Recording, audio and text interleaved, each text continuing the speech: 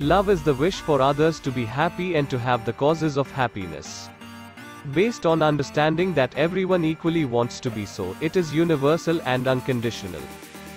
It includes the quality of being sensitive to others' needs and the willingness to contribute to their happiness. It can be extended equally to everyone, regardless of their relation with us or what they've done, and it expects nothing in return. In Buddhism, love is the greatest source of happiness.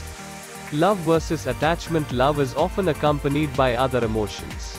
With unhealthy attachment, we exaggerate someone's good qualities, either actual or imagined, and deny their shortcomings.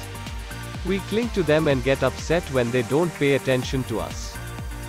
Thinking, I love you, don't ever leave me, I can't live without you. Love in Buddhism has a feeling of closeness with others, but it isn't based on whether they also love and care for us, and so there's no dependence on anyone. Love mixed with attachment and dependency is unstable. If the person we love does something that hurts us, we might no longer love them. Just look at how many marriages start with love and end in divorce. When we are free of expectations, nothing can sway us from it.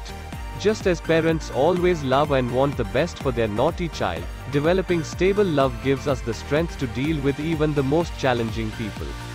It takes training, but all of us have the ability.